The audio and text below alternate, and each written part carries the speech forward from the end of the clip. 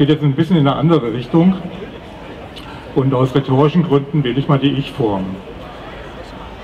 Ähm, das Äußere ist ja ziemlich äh, bestürzend, was da so alles an Themen auf uns einfließt. Und in der Regel reagieren wir da auch eben mit Bestürzung drauf. Ähm, und jedes Mal, wenn wir halt in Angst, Sorge, Unruhe geraten, gehen wir den Weg, gehen wir, ich wollte ja Ich-Form sagen, gehe ich den Weg des äh, Stresses.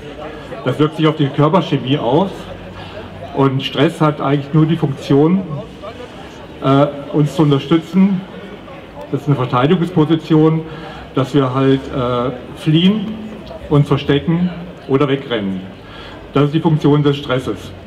Wenn die Gefahrensituation beendet ist, können wir wieder in einen entspannten Zustand übergehen. In einer Stresssituation habe ich ähm, eine verengte Wahrnehmung, weil ich habe nur ein Ziel, dieser Gefahrensituation zu entkommen. In der entspannten Situation bin ich äh, in einer freien Situation und alle Informationen fließen mir zu. Ähm, und ich kann jetzt schauen, inwieweit jetzt hier ich in Unruhe gerate aufgrund der äußeren Umstände und was das mit mir macht. Und eigentlich ist eine dauerhafte Stresssituation ein ungesunder Zustand. Und dann ist es auch so, dass wir, wenn wir selber da oder wenn ich da in Unruhe gerate, das geistige Feld derer nähere, die diese Unruhe verbreiten. Und das ist ihre Absicht.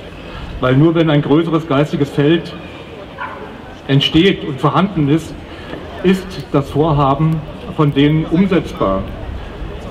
Also aus meiner Sicht kann ich denen am meisten zusetzen, wenn ich mich gar nicht erst in diese Unruhe versetzen lasse. Da ist ein anderes geistiges Feld am Arbeiten, was denen die Nahrung entzieht. Und ähm, vielleicht ist das eigentlich die Aufgabe, die sich uns stellt, hier in dieser Zeit, obwohl der ganze Wahnsinn ja so unfassbar ist. Ne? Na gut, lass uns mal dabei. Am 6.7. werden wir hier eine kleine Aktion mit dem Ahorn machen. Der Ahorn selber ist eine Pflanze, die uns unterstützen soll auf diesem Weg.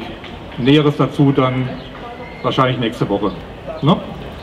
Und nochmal die Erinnerung ans offene Orga-Treffen. Also jeder darf sich einbringen. Ähm, Kritik ist natürlich unerwünscht.